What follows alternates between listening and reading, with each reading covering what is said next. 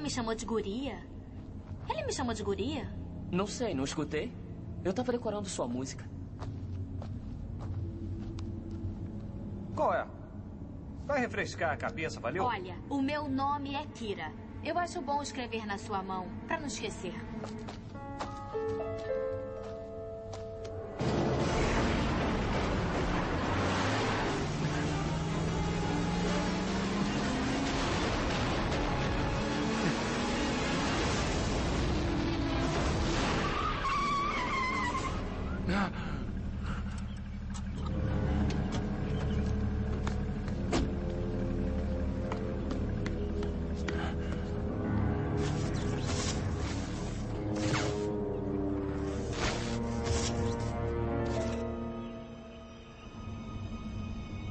Tá parecendo mais um parque jurássico.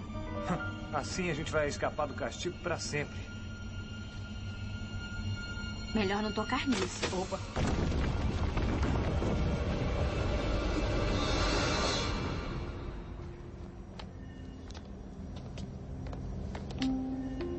Dá pra fazer um vídeo alucinante aqui.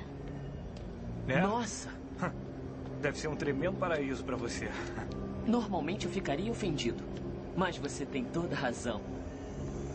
Peraí, não mexe nisso. Por que não? Você é curioso demais, não pode sair por aí mexendo em tudo. Olha, eu já assisti muitas aulas de ciências e sei que essas coisas são pré-históricas. E eu não quero perder o meu treino. Odeio concordar com ele. Sério, odeio. Mas já perdi um ensaio.